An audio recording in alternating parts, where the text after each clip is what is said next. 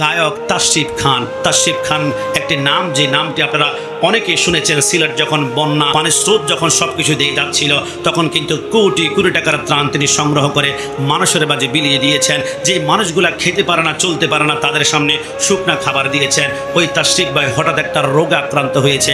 আর এটার নাম facial paralysis অর্থাৎ তার মুখটা ডান পাশে, এক পাশে বাঁকা হয়ে গিয়েছে। গত পরশু রাতে ইনি যখন লাইভে আসলেন সবরতার রাতে, বিশ্বাস করুন, চোখের পানি ধরে রাখতে পারি নাই। যে ছেলেটা এত কিউট এত সুন্দর, এখনও বিবাহ করে নাই। লক্ষ লক্ষ ফলোয়ার যারা ফেসবুকের ভিতরে রয়েছে, সেই যুবকটা হঠাৎ করে মুখটা বাঁকা হয়ে যাচ্ছে। কমেন্ট বক্সে যখন যাচ্ছিলাম, আমি মনে করেছিলাম, সবাই মনে হয় দোয়া করবে, কিন্তু অবাক হয়ে গেলাম। আমাকে বিস্মিত করে দিল যে কমেন্ট বক্স অনেকে লেখছে, এই তো আল্লাহর গজব পড়েছে, কি হয়েছে?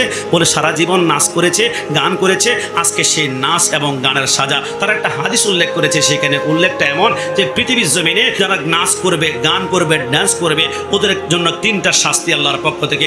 এক নম্বর নাকি ভূমি দশ হবে দুই নম্বর চেহারা বিকৃত হয়ে যাবে আর তিন নম্বরে এমনভাবে হাদিস উল্লেখ করছে আমি বলি না, আল্লাহ যে কি জন্য তিনি একটা রোগ দিয়েছে, অসুস্থ দিয়েছে, এটা তুমি ব্যাখ্যা করো, শিওর হও কীভাবে, যেটা আমার আল্লাহ ভালো জানান। কারণ আমার আল্লাহ তো কোরআনে অন্য জায়গায় বলেছেন, ওয়ালা নাবলু ওয়ান্নাকুম বিশাইয়্যিম মিনাল খাউফ ওয়াল জু ওয়া নাকসুম মিনাল আমওয়ালি ওয়াল আনফুসি ওয়াস সামারাত। মাঝে মাঝে আমি আল্লাহ আমার বান্দাদেরকে আমি রোগ দিয়ে, অসুখ দিয়ে, বিসুখ দিয়ে আমি পরীক্ষা করে থাকি হয়তো আল্লাহ তিনাকে পরীক্ষা করছেন এনাকে ধিক্কার না দিয়ে আমরা ভালোবাসা। দেওয়া দরকার। যেমন ভালোবাসা আমার ভাইজানে মাঝে মাঝে দেন, এদের জন্য দোয়া করা দরকার। হয়তো বা তিনি লাইভে যখন বলছিলেন আমার বড্ড ভালো লেগেছে। তিনি বলেছেন, যত ডাক্তারের চেষ্টা করুক না কেন, আমার রোগ ভালো করতে পারবে কিনা জানি না। তবে আমি বিশ্বাস করি আমার রোগ ভালো করার ক্ষমতা একমাত্র আল্লাহর হাতে। এই কথাটা বলে কোলে যে একটা টান দিয়েছে। আমার কেন জেনে মনে হয় বদ্ধ না করে তার জন্য আমরা দোয়া করতে পারি। দোয়া করলে সে বুঝতে পারবে নাচ গান এটা না করে আমি দিনের পথে হাঁটি। সে যখন দিনের পথে হাঁটবে, তার ফেসবুকে লক্ষ লক্ষ ফলোয়ার আছে অন্তত পক্ষে দশ থেকে পনেরো হাজার ফ্লোর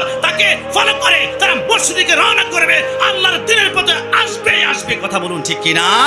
এই জন্য আমরা তিনাকে বদ্ধ না করে দোয়া করব। এই জন্য কাজী নজরুল ইসলাম সত্যিই বলেছেন, আমরা সবাই পাপি, নিজের পাপের বাট খারাতে অন্যের পাপ মাপি আমরা সবাই পাপি কিন্তু আমরা নিজের পাপ দেখি না, আমরা অন্যের পাপ হিসাব করতে বড্ড বেশি আনন্দিত। এই জন্য আমি মাঝে মাঝে চিন্তা করে দেখলাম, অসংখ্য যুবক মানুষ আছে কি আমাদের সমাজে একটু খেয়াল করবেন, যে যারা অন্যের দোষ গুণ দেখলে মানুষ যখন অসুস্থ হয়ে যায় তখন বলে, এটা তার রোগের, এটা তার বিভিন্ন গুনাহের ফলাফলের গজব পড়েছে। আর নিজের বেলায় যখন রোগ শুরু হয়ে যায় তখন বলে এটা আল্লাহ আমাকে পরীক্ষা করছে, নিজের বেলায় পরীক্ষা, আর অন্যের বেলায় গজব বলে সাব্যস্ত যারা করে, এরা প্রকৃত মুসলমান হতে পারে না। এই জন্য আসুন, আমরা তার জন্য দোয়া করব। যে দোয়ার ভিতরে রসুল্লাহ পাঁচটা পয়েন্ট আমাদেরকে দিয়ে দিয়েছেন আল্লাহ হুম্মা ফিরলি ওয়ার হামনি ওয়াহদিনী ওয়া আফিনি এবং ওয়ার জুকনি এই পাঁচটা দোয়ার ভিতরে পাঁচটা পয়েন্ট দিয়েছেন আল্লাহ হুম্মা ফিরলি আল্লাহ ক্ষমা করুন ওয়ার হামনি আল্লাহ রহম করুন এবং ওয়াহদিনী, আল্লাহ দিনের পথে নেন এবং ওয়া আফিনি আল্লাহ তিনাকে সুস্থ দান করুন এবং ওয়ার জুকনি আল্লাহ রিজিক দান করুন, এই দোয়াটা আমরা তার জন্য করব। রব্বুল আলমিন যাতে করে আমার তাশরিফ খান ভাইকে অতি দ্রুত সুস্থ করে আবার আমাদের ইসলামের পথে, কোরআন সুন্নার পথে এসে তার জীবনটাকে কোরআন সুন্না ভিত্তিক জীবন যাপন করতে পারে। তার জন্য দোয়া করতে গিয়ে আমাদের খুব কষ্ট হয়ে যাবে। একটু জাবান খুলে কষ্ট হয়ে যাবে।